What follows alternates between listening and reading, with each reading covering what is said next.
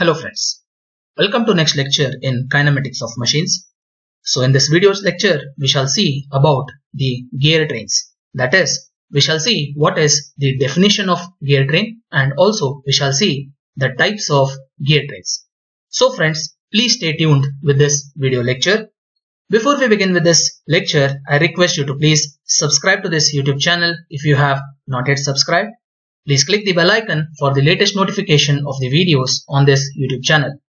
Follow us on Twitter, Instagram and like our Facebook page, Mechanical Engineering Tutorials. The links are in the description below. So friends, let's begin with this video lecture. So first we shall see the definition of a gear train. So here, a gear train is defined as a system of gears which transmits motion from one shaft to another shaft.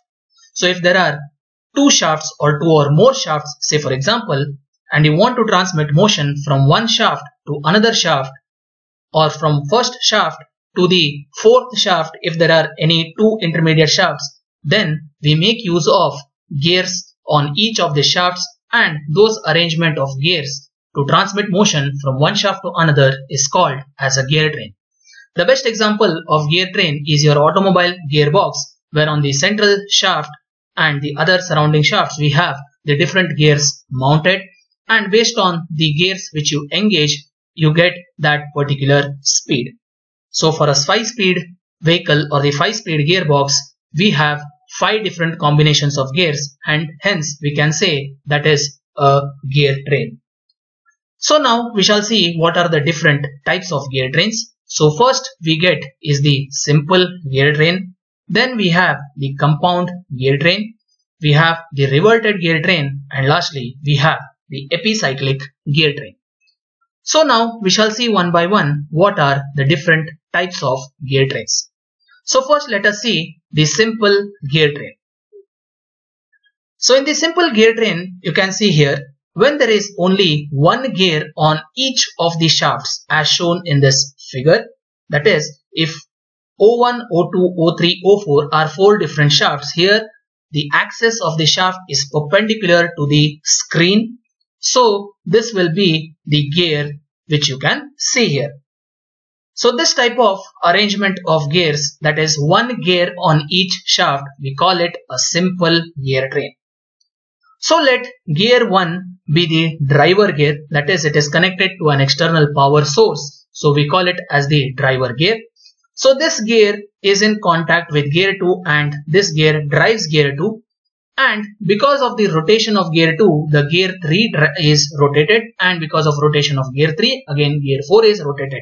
That is the motion from shaft 1 to shaft 4 is obtained. So now let N1 be the speed of gear 1, N2 be the speed of gear 2, N3 be the speed of gear 3 and N4 be the speed of gear 4. And similarly, the number of teeths on either of the gears is T1 on gear 1, T2 on gear 2, T3 on gear 3 and T4 on gear 4. So first, with respect to the speed and number of teeth, we shall determine the velocity ratio so we have already discussed in the previous lecture on how to determine the velocity ratio. So you can refer to the video which will appear on the top right corner about the velocity ratio.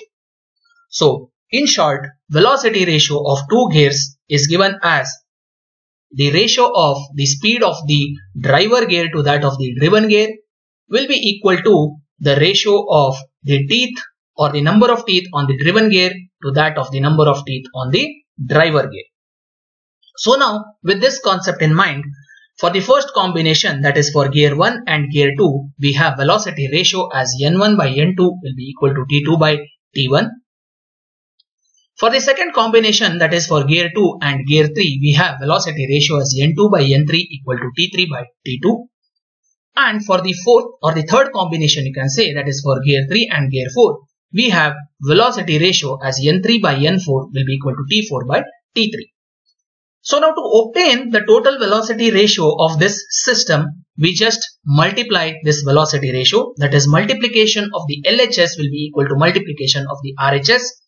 that is n1 by n2 into n2 by n3 into n3 by n4 will be equal to t2 by t1 into t3 by t2 into t4 by t3. So now cancelling the common factor here n2 in the denominator and n2 in the numerator similarly n3 in the denominator and n3 in the numerator in the LHS and t2 in numerator and t2 in denominator and t3 in numerator and t3 in denominator in the RHS we get n1 by n4 will be equal to t4 by t1. So with this what we can say as it is clear that the velocity ratio so this is the velocity ratio which we have obtained is independent of the intermediate gears. That is, it just depends on the number of gears on the driver and number of gears on the driven or the speed of the driver to that of the speed of the driven.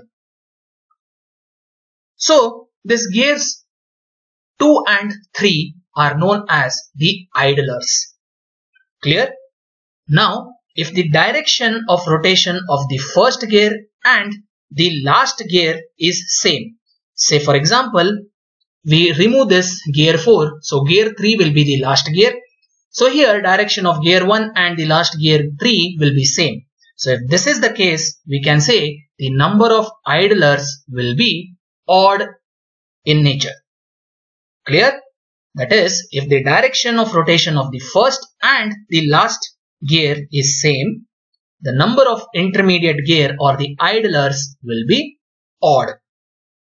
Now if the direction of the first and the last gear are opposite, then the number of idlers will be even. So if you see here for this 4 gear system, we have the direction of first gear and the last gear as opposite. So idlers are 2 and 2 is an even number.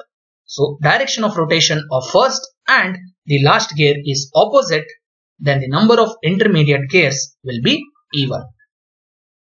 So now here one thing we need to note here the two statements which I explained to you just now that is the direction of rotations are same and when the direction of rotations are opposite this condition is true only when the gears are having external teeth that is the teeth are mounted on the surface of the gear and not as the internal teeth and the centers O1, O2, O3 and O4 will be fixed relative to each other.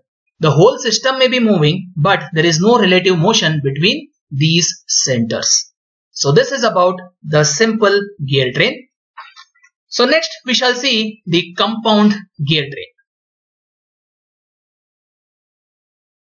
So you can see when there are more than one gear on the shaft as shown here in this figure, it is called as the compound gear train. So gear 1 is the driver gear. Gear 2 and gear 3 are mounted on the single shaft A. Gear 4 and gear 5 are mounted on the single shaft B and gear C is mounted on shaft C. Gear 3 and gear 5 will act as the driver gears for gear 4 and gear 6. The reason is there is no any other gear which is meshing with gear 3 to make it move or there is no any other gear meshing with gear 5 to make it move. That is, gear 3 will have an independent motion and that motion is transmitted to gear 4 hence gear 3 becomes driver. Gear 5 will also have an independent motion and it will transfer motion to gear 6 and that becomes the driver over here. Now you might ask me one question. The motion of gear 3 will be because of the motion of gear 2 and the motion of gear 5 will be because of the motion of gear 4. That is correct. But if you see here, gear 2 moves because gear 1 is meshed to gear 2 and the rotation of gear 1 will cause rotation of gear 2. But no other gear is meshed to gear 3 which will make it to rotate. But gear 3 will rotate because Gear 2 is mounted on that same shaft and rotation of this gear 2 will make gear 3 rotate without being meshed and hence we say gear 3 rotates independently and it acts as the driver gear for gear 4 and same is the case with gear 5. So now with this in mind for each of these combinations we shall obtain the velocity ratios that is when gear 1 and gear 2 are meshed we get velocity ratio as n1 by n2 will be equal to t2 by t1. For gears 3 and 4, the velocity ratio will be N3 by N4 equal to T4 by T3. For gears 5 and 6, we have N5 by N6 equal to T6 by T5. Now since gear 3 and gear 2 are mounted on the same shaft, we can say the speed of gear 2 will be same as that of the speed for gear 3. That is N2 will be equal to N3. Similarly, gear 5 and gear 4 are mounted on the single shaft B. So we can say speed of gear 4 will be same as that of gear 5. So N4 will be equal to N5. So here to obtain the velocity ratio of this complete system, we multiply these velocity ratios. That is in the LHS we get N1 by N2 into N3 by N4 into N5 by N6. So this is equal to T2 by T1 into T4 by T3 into T6 by T5. Now here in the LHS we know that N2 is equal to N3 so this denominator and this numerator gets cancelled. And we know that N4 is equal to N5 so this N4 and N5 that is N4 in the denominator and N5 in the numerator gets cancelled. So ultimately what we get is N1 by N6 but nothing gets cancelled in the number of teeth or the ratio of teeth. So this remains as it is in the RHS. So here we can say that the velocity ratio of the system is dependent on the speed of first and last gear only. That is velocity ratio can be determined by the speed of, if we know the speed of the first and last gear only or we need to know the number of teeth on each and every gear. So this is about the compound gear. Next we shall see the reverted gear or reverted gear train. So here reverted gear train is similar to the compound gear train but the only condition over here is when the axis of the first driver gear is coaxial with the axis of the last driven gear then the gear train is known as a reverted gear. So here from the figure we can see gear 1 and gear 2 are meshed together, gear 3 and gear 4 are meshed together, Gear 2 and gear 3 are on the single shaft but gear 1 and gear 4 are not on the single shaft but they are on different shaft but their axis is same or you can say it is a coaxial. So here from the center of the shaft to the meshing line we determine here this distance as R2 and from the center of this shaft to the edge of this gear we determine R1 that is R1 is the radius of gear 1 R2 is the radius of gear 2 R3 is radius of gear 3 and R4 is radius of gear 4.